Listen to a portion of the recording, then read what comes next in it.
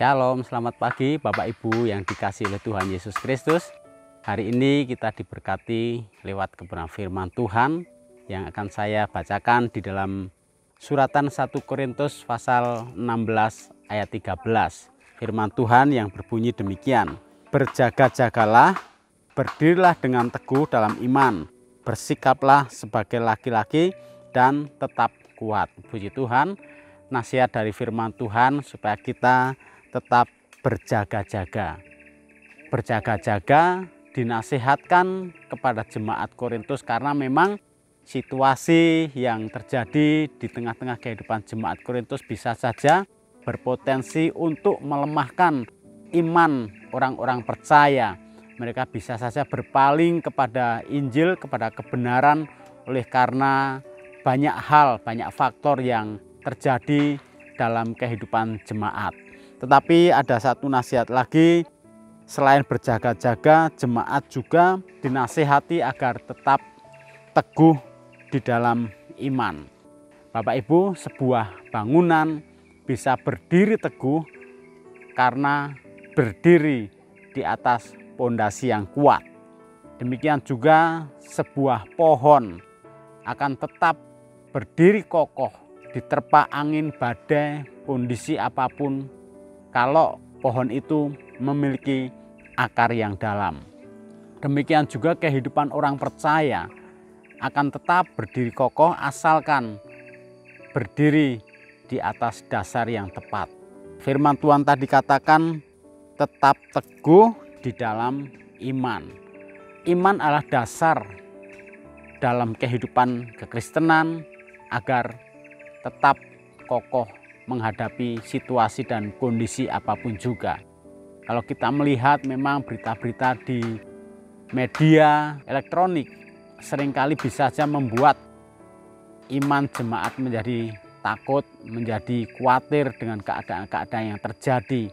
Seperti halnya yang sering kita dengar ada ancaman bencana yang akan terjadi di Indonesia.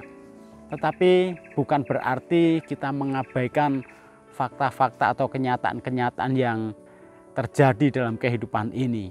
Tetapi di atas semua kenyataan yang bisa kita dengar, bisa kita lihat, kita alami, kita taruh kebenaran iman di atasnya. Sekali lagi bukan berarti kita mengabaikan fakta-fakta tersebut. Tetapi lebih dari fakta-fakta itu yang kita jadikan dasar untuk menjalani kehidupan ini, kita taruh hidup kita di atas iman, di atas kebenaran. Karena apa? Karena kebenaran selalu ada di atas fakta dan iman kita juga ada di atas fakta. Kita bisa membuktikan dari kisah-kisah dalam Alkitab yang terjadi.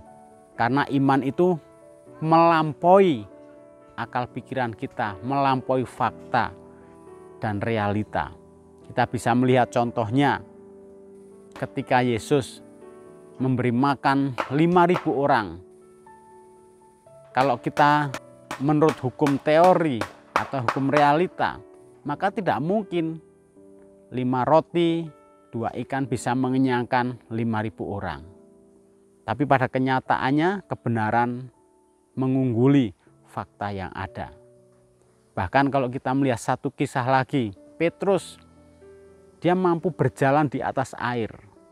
Kalau kita melihat hukum alam, tidak mungkin manusia bisa berjalan di atas air tanpa peralatan atau perlengkapan yang mendukung. Tetapi sekali lagi, kebenaran atau firman, iman itu bisa mengatasi logika manusia. Pada akhirnya Petrus bisa berjalan di atas air. Hanya karena bimbang ketika Petrus bimbang, maka dia akan tenggelam. Demikian juga nasihat-nasihat dari firman Tuhan tetap berjaga-jaga, tetap berdiri teguh di dalam iman, bersikap seperti laki-laki itu menunjukkan bahwa nasihat itu memang kita perlukan untuk kita menghadapi situasi dan kondisi hari-hari supaya apa? Supaya iman kita tidak goyah. Tapi kembali lagi kepada kehidupan jemaat Korintus.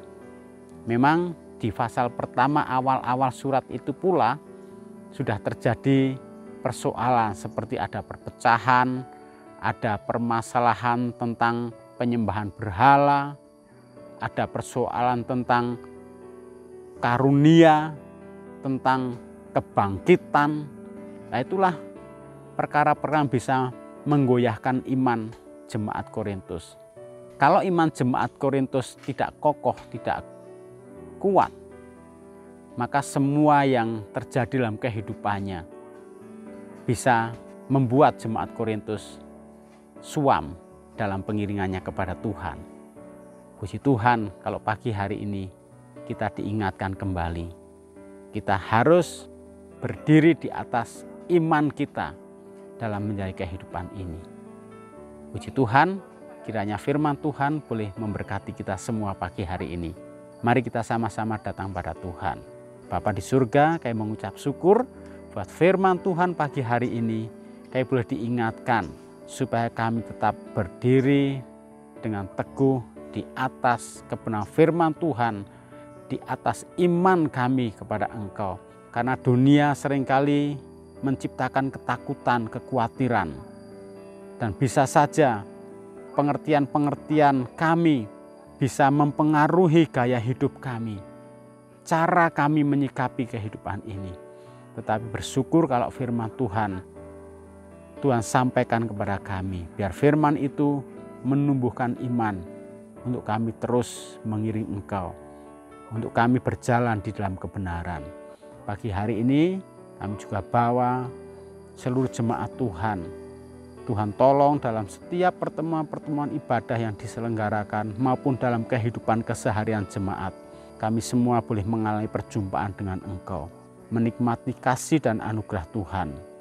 Tapi kami juga berdoa pagi hari ini membawa para pemimpin bangsa ini, membawa bangsa Indonesia, daerah-daerah yang sedang mempersiapkan pemilihan kepala daerah di tempat masing-masing Kiranya Tuhan tolong supaya dari masa persiapan sampai masa penetapan pemimpin daerah yang terpilih berjalan kondusif, aman, dan jauh dari kerusuhan.